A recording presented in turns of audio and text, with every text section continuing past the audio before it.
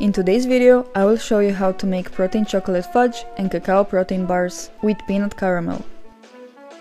Both recipes are vegan, protein packed, incredibly delicious and require no baking. Let's start with the chocolate fudge. In a blender, add 200 ml coconut milk from a can, 50 ml date syrup, and 1 tablespoon melted cacao butter. Blend it for a few seconds. Next, add 64 grams of Vitally Vegan protein powder. I use their chocolate salted caramel flavor, which is one of my favorite. Then add 64 grams of peanut flour and 50 more milliliters of date syrup. Blend until you get a smooth mixture. After that, transfer to a smaller container. Put it in the freezer for at least 2-3 hours, then cut it in small squares. I ended up with 35 pieces.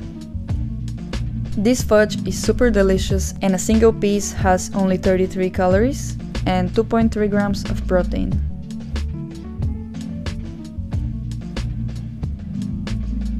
It is the perfect healthy snack for any moment.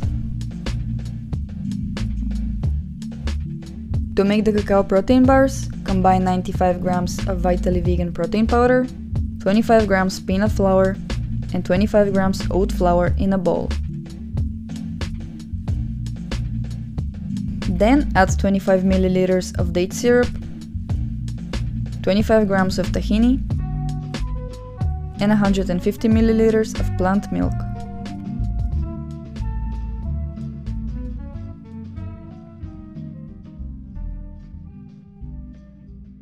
Then add 1 tablespoon of melted cacao butter and 20 more grams of oat flour.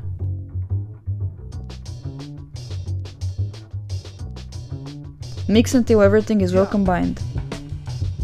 The mixture shouldn't be too sticky and it shouldn't get all over your fingers. Once everything is combined, transfer to a smaller container.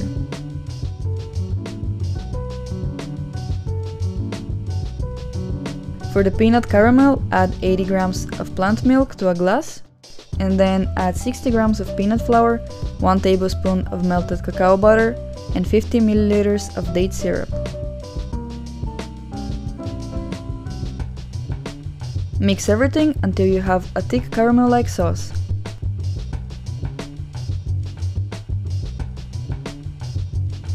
Add it on top of the protein bars and put it in the freezer for 3-4 hours.